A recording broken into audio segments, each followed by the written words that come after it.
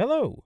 Today I'm here to talk to you about the differences between deleting and archiving mail in Microsoft Outlook. This is a pretty important distinction, and if you often find yourself needing to retrieve information from old emails, you might find the archiving option very useful.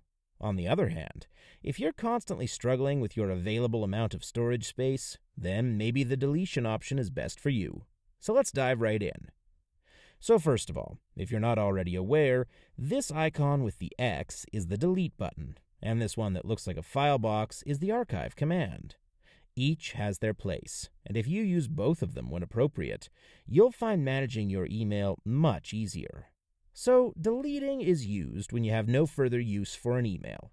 For instance, this simple update from some service I subscribe to here isn't something I'm likely going to need to refer back to so I can just select it and hit the delete button. Now, this doesn't instantly destroy the message forever, it just moves it to my deleted items folder. However, you'll likely want to empty your deleted items folder from time to time in order to save space and stay organized. If you're part of a larger organization, this might actually happen automatically or be managed by your tech department. Bottom line, although you have a small recovery window available to you, Typically speaking, when you delete something, it's going to end up gone forever.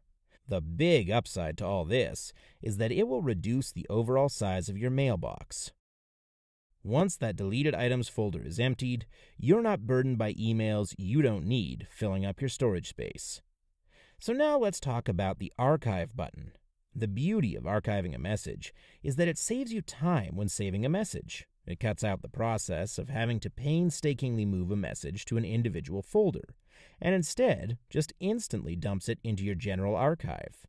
Here you can see the archive folder, where all my archived messages are kept.